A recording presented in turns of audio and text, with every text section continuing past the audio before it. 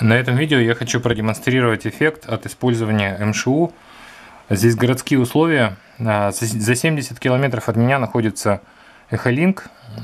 Он э, работает мощностью 50 Вт. Его антенна расположена на высоте 15 метров от земли. А, условия не самые благоприятные, потому что я тоже нахожусь в низине, а Echolink со своей стороны тоже находится в низине. Вот такие вот условия для приема, они позволяют э, слышать эту станцию, но не очень-то громко, точнее порой даже слабо. Э, условия приема это день. Я использую 9-элементный волновой канал, направленную на Echolink. Э, я также использую МШУ, который я буду включать и выключать. Этот эксперимент мне позволит оценить эффект от использования МШУ и, можно сказать, послушать это ушами. Буду надеяться, что все получится. Сейчас я включаю громкость приемника. МШУ выключен. МШУ находится у меня вместе с усилителем на балконе. Я буду ходить на балкон, включать, выключать кнопочкой. И можно будет оценить э, эффект от использования МШУ. Итак, я включаю громкость. Это Echolink. МШУ выключен.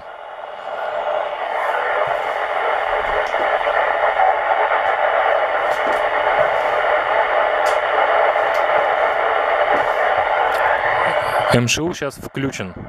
Эсметр чуть-чуть прибавился.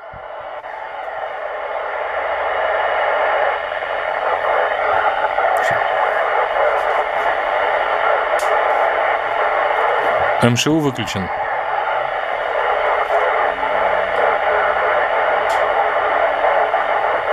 МШУ включен.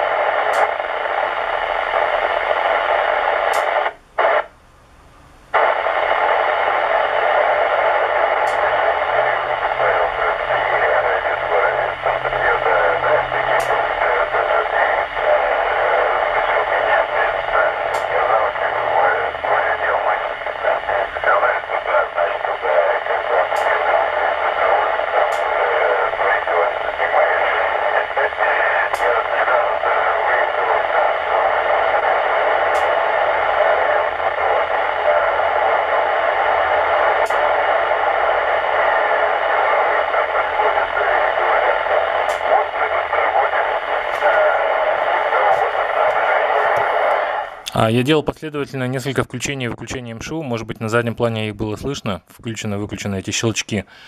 Вот. На последний момент сейчас МШУ включен. То есть эсметр показывает до 2 баллов. Это, это МШУ включен.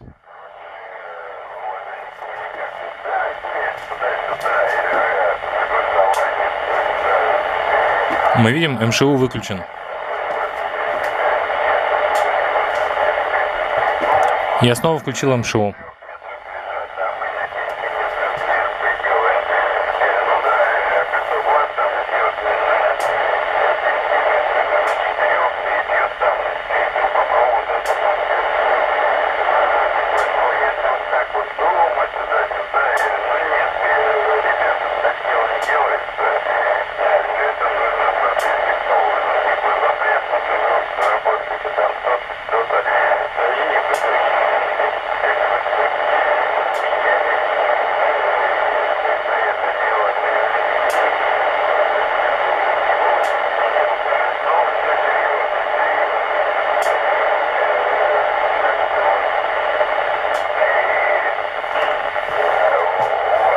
И МШУ снова включен. Это бы я делал опять серию включения и выключения МШУ.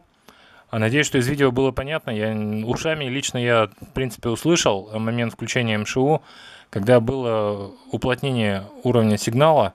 Хотя были QSB, конечно, это колебание уровня сигнала, но в целом включение МШУ, на мой взгляд, на мой слух, приводило к уплотнению полезного сигнала. И когда его выключаешь, МШУ, то, соответственно, добавляется такой песок, хруст, э, и потом снова включаешь МШУ и снова слышишь комфортный более плотный сигнал. Это лично мои ощущения на слух, не знаю, как они у вас. Э, я не комментировал переключение МШУ, когда я, ими, когда я щелкал этим МШУ, включить-выключить, но в принципе я думаю, что может быть щелчки были слышны, слышны на заднем плане, посмотрим. Я еще раз этот эксперимент повторю, я просто буду щелкать, вы послушайте. Сейчас МШУ включен.